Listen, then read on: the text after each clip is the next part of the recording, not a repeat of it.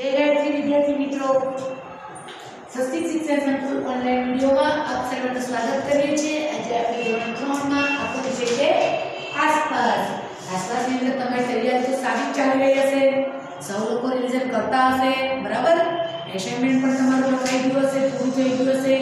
અમે પાકું પણ કરી દીધું હશે. મિત્રો, કદાચ સોમવારથી કદાચ સ્કૂલો ચાલુ થાય અને જો તમારે પરીક્ષા આપવાની સ્કૂલમાં આવશે તો તમે જો એસાઇનમેન્ટની રીતે રિવિઝન કર્યું હશે અથવા તો મેં જેમ રિવિઝન કરાવ્યું છે, એ પ્રમાણે તમે ઘરે રિવિઝન કર્યું હશે, તો તમે પેપર આસાનીથી લખી શકશો. નહીં તો પછી તમે પેપર લખી શકશો નહીં. બરાબર? મુશ્કેલી પડે ને? કારણ કે લખ્યું ના હોય, વાંચ્યું ના હોય, રમતમાં દિવસો કાઢ્યા હોય અને અચાનક સ્કૂલ ખુલે ને પરીક્ષા આવી જાય, તો તમે પેપર કેવી રીતે લખવાના હતા? તો તમારે રિવિઝન હજી પણ જો ના કર્યું હોય ચોપડા કાઢીને બેસી જજો અને રિવિઝન કરવા લાગજો. જેથી કરીને સ્કૂલ ચાલુ થાય તો તમે પેપર આસાનીથી લખી શકો. તો આપણે આસપાસની અંદર ઓગણીસ પાસનું રિવિઝન આપણે જોયું હતું. તો આજે આપણે આ વિડીયોમાં જોઈશું ચેપ્ટર વીસ. જે છે તમારે કેટલા રે કેટલા. એ પાઠનું રિવિઝન પાના નંબર સદેપુરની અંદર નેવું નંબરનું પાનું તમે કાઢો કાઢી દીધું હવે બધાને હું એ ખાલી જગ્યા અને ખરા ખોટા એ લખતી જઈશ જો કદાચ લખાઈ ગયા હોય તો તમારે તે જવાબ ચેક કરવાના છે અને ના લખ્યા હોય તો આની અંદરથી જોઈને તમારે લખી દેવાના રહેશે તો ચલો ચાલુ કરીએ આપણે પહેલું છે ખાલી જગ્યા પૂરો તો પહેલી ખાલી જગ્યા તમારે છે સીતાના ખાલી જગ્યા થોડા સમય પહેલા મૃત્યુ પામ્યા હતા કાકી દાદા કે મામા કોણ મૃત્યુ પામ્યું હતું કાકી બરાબર એસાઇનમેન્ટમાં આવી છે આપણા જગ્યા તો આપણે લખીશું જવાબ કાકી ચલો બીજી ખાલી જગ્યા જોઈશું ખાલી જગ્યાના પિતાજી નિવૃત્ત થઈ રહ્યા છે સીતા હબીબ કે જોન કોના પિતાજી નિવૃત્ત થઈ રહ્યા છે હબીબના બીજી ખાલી જગ્યામાં લખીશું આપણે હબીબ ત્રીજી ખાલી જગ્યા તમારી છે. કુટુંબમાં સાથે રહેવાની ખાલી જગ્યા આવે છે. મજા, દુઃખ કે ઈર્ષ્યા. તો શું આવે? કુટુંબમાં રહેવામાંથી મજા તમે લોકો અત્યારે અહીં એકલા રહેતા હશો, પરંતુ જ્યારે વેકેશન પડે, ત્યારે તમારા ગામડે જાઓ, ત્યારે ત્યારે મારા કાકા, કાકી, મોટા પપ્પા, મોટી બા, બધાને મળો, દાદા, દાદીને મળો.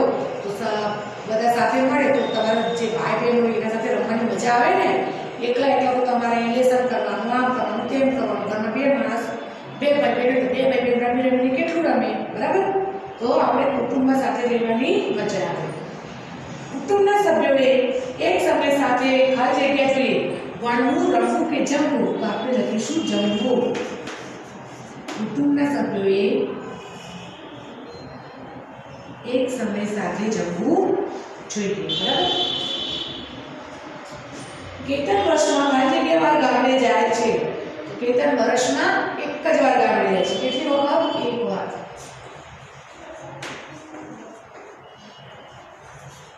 છઠ્ઠી જોઈશું.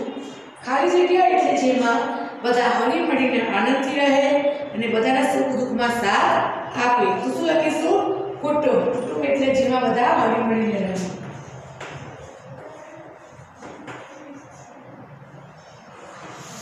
આ હતા તમારી ખાલી જગ્યા હવે આગળ છે તમારે ખરા ખોટા એમાં આપણે ખરા અને ખોટાની નિશાન કરવાની છે.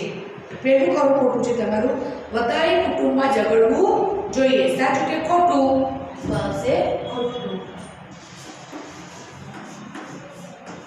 ચલો બીજું જોઈશું. આપણે આપણાથી મોટાને કામમાં મદદ કરવી જોઈએ. એ આવશે સાચું. આપણાથી મોટા હોય મમ્મી પપ્પા આપણે એમને કામમાં મદદ કરવી જોઈએ. ઘરમાં મોટા લોકો પૈસા માટે કામ કરે છે, તમારા ઘરમાં કરે છે મમ્મી, પપ્પા મમ્મી, પપ્પા પૈસા કમાય ત્યાં તો તમે ભણી શકો. જો પપ્પા ના કમાતા તો તમે ખાવો પણ શું? તો આપણા ઘરમાં મોટા લોકો પૈસા માટે કામ કરે છે. રાઈટ આપણે માતા પિતાનું કહેવું માનવું જોઈએ નહીં. એ આવશે ખોટું. માતા પિતાનું કહેવું આપણે માનવું જોઈએ કુટુંબમાં બાળકો અને વૃદ્ધોની સાર સંભાળ રાખવામાં આવે છે. તો એ આવશે સાચું. કુટુંબમાં બાળકોની સાર સંભાળ રાખવામાં આવે છે વૃદ્ધોની. કૃષ્ણ તેનું બહેનનું ધ્યાન રાખતી નથી. તો એ આવશે ખોટું. બરાબર? તો આ રીતે તમારે ખરા ખોટા અને ખાલી જગ્યા તમારે તમારી સદ્ય અંદર ચેક કરી દેવાની છે. જો કોઈ ન લખ્યું હોય, તો આમાંથી વિડીયોમાંથી જોઈને તમે તમારી સદ્ય અંદર એક આ જગ્યા લખી શકો છો. બરાબર? અને ખોટી હોય તો સુધારી પણ શકો છો. ત્યારબાદ પ્રશ્ન પછી તમારે એક વાક્યમાં ઉત્તર લખો એમાં પહેલો પ્રશ્ન છે, તમે કોઈ જૂથમાં જોડાઈ શક્યા નહીં, તો કેવો અનુભવ થયો? કે હું કોઈ જૂથમાં જોડાઈ ન શક્યો, તો મને ખૂબ જ ખરાબ લાગ્યું. મને લાગ્યું કે હું બધાથી જુદો પડી ગયો. કેટલા કેટલા રમત રમી છે ને, ત્યારે આપણે બેટ પડે બેટ બેનપણી જોડાઈ જાય કે પાંચ પાંચનો ગ્રુપ પાંચ પાંચનો ગ્રુપ બનાવી લઈએ.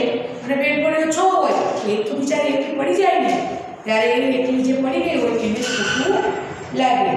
અને એને લાગે કે હું બધાથી જુદી પડી ગઈ. થાય છે ને તમારામાં એવું? ચલો, પ્રશ્ન બે જોઈશું. તમે કેમ કોઈ એક જૂથમાં જોડાઈ ન શક્યા કારણ કે બધાની જૂથની સંખ્યા પૂરી થઈ જવાથી ટીચર કે ત્રણ ત્રણ ને છોકરાઓ હોય ચાર, તો ક્યાંથી જોડો થાય? એકને તો છૂટું પડવું જ પડે ને, બરાબર? તો એ રીતે. તમારે હંમેશા એટલું રહેવાનું તો કેવું લાગે?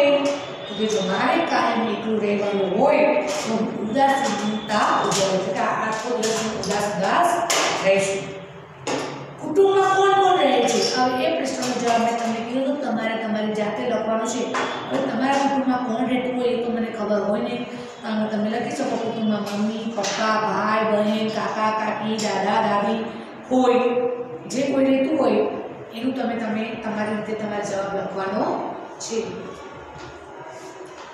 કુટુંબ શું છે? તો કે કુટુંબ એટલે કે જ્યાં બધા હળી મળીને રહે તેને આપણે કુટુંબ કહીએ કુટુંબ એટલે શું થશે જ્યાં બધા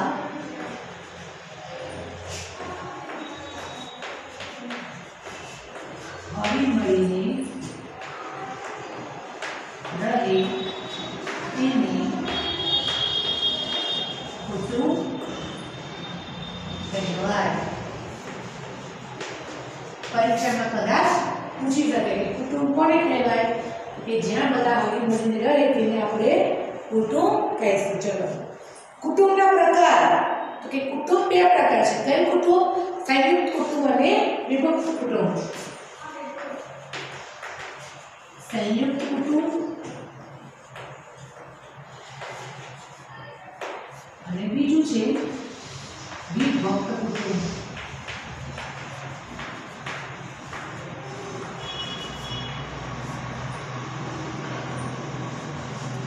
આપણે બધાએ કેવી રીતે રહેવું જોઈએ તો કે આપણે બધાએ ભેગા મળીને હળી મળીને રહેવું જોઈએ. કેવી રીતે રહેવું જોઈએ?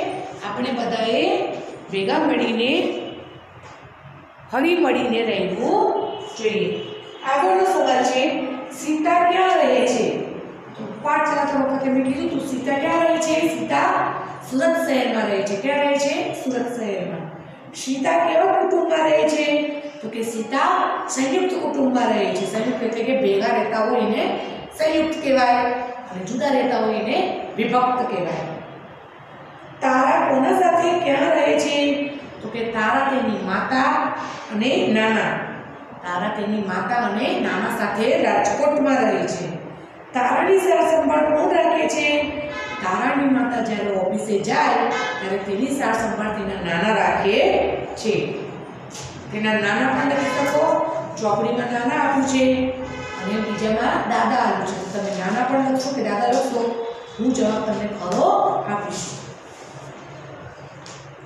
આગળનો સવાલ છે, રેહાના હબીબ અને તેના અબુ સાંજે શું કરે છે? તો કે રેહાના હબીબ અને તેના અબુ સાંજે સાથે બેસીને ટેલિવિઝન જુએ છે અને ચર્ચા કરે છે.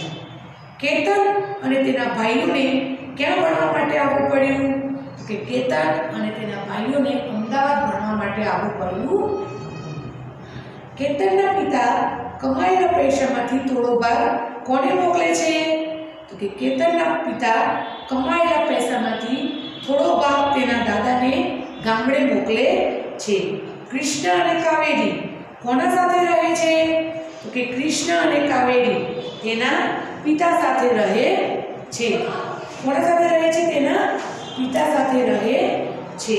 કાવેરી તેનું ગૃહકાર્ય પતાવીને શું કરે છે? તો કે કાવેરી તેનું ગૃહકાર્ય પતાવીને રમવા માટે જાય છે. તો આ હતું આપણા વીસમા પાઠનું રિવિઝનનો વિડિયો જો કોઈ આપણે સવાલ જવાબ ના લખ્યા હોય તો મેં તમને સવાલ જવાબ રિપીટ કર્યા છે. એ રીતે તમે લખી શકો છો. અને વીડિયો પણ અત્યારે હાલ આવી ગયો છે. તો એમાં પણ તમે લખી શકો છો. એમાંથી જોઈને પણ તમે તમારી સભ્યપોથી પૂર્ણ કરી શકો છો. પરીક્ષાની તૈયારી કરતા રહેજો, જેથી કરીને પરીક્ષામાં તમે ફટાફટ લખી શકો. તો અંતમાં સર્વ મિત્રોને જય ગાયત્રી.